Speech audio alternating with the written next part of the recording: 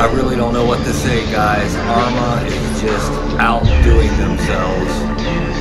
As if the new Big Rock wasn't spectacular. Check out the new RTR EXB Kraton 6S. I mean, talk about some updates.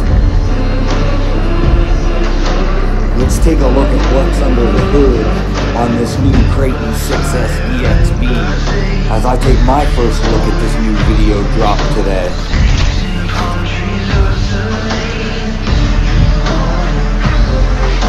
7075 chassis, EXB standard.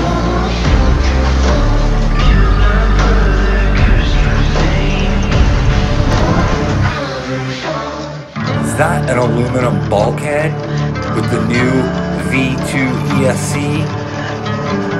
Bleedable shocks. They made a new tower to tower brace.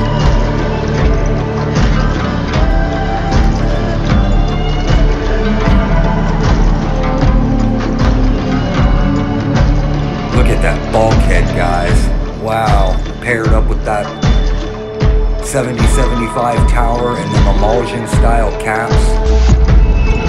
They killed it, guys. What do you think? Leave a comment. I gotta know.